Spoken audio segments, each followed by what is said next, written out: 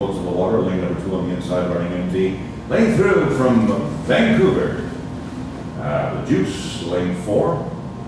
True North uh, Hammerheads, uh, lane five, uh, NDRC Yellow, and lane six on the outside, Cobra Kai. And we a very even race, and once again, a shout out to our referee boats all the way in behind.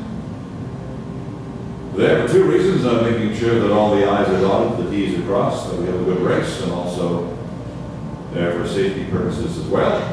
Again, safety is our number one consideration here at the championships.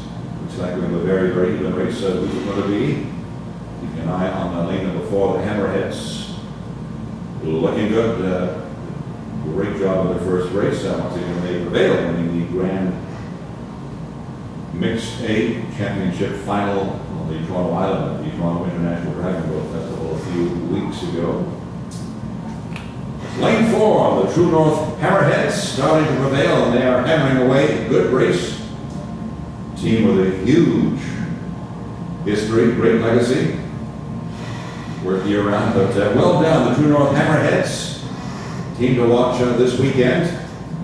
And we got a good series on the inside, lane number three, possibly for second place, the Juice from Vancouver.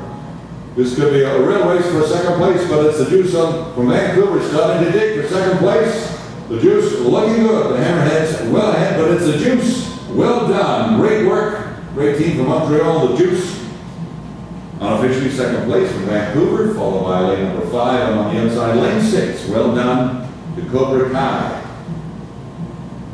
We've had two white flags, good work, and once again, the Hammerheads prevailing.